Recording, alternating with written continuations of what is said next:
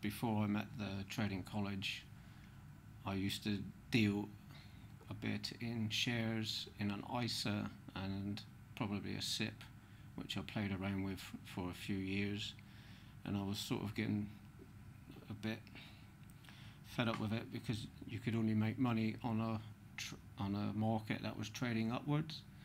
So I wanted to take it to the next level, so I could trade the market in an upward and a downward trend. So I've done some research into it and found a trading college and got in contact with them, and they've got me started trading.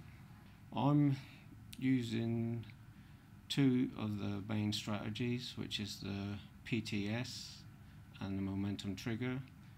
Myself, I'm mainly a swing trader, trading off the larger time frames, and so these these work very well with working off larger time frames because at the moment I'm still working in a full-time job. Definitely a 10. No, I'm, I'm very pleased with the trading college, how they've helped me and the support that they've given me. And just like to, just like to say a big thank you to everybody for, for the help and the support.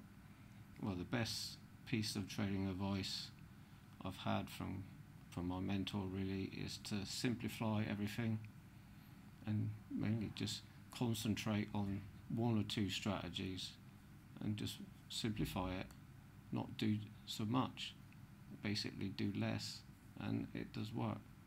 Just starting probably three months into my mentorship, so I've got I've got quite a way to go yet, and things are improving all the time. Greg's happy with my progress, so so it's all it's all good at the minute. So.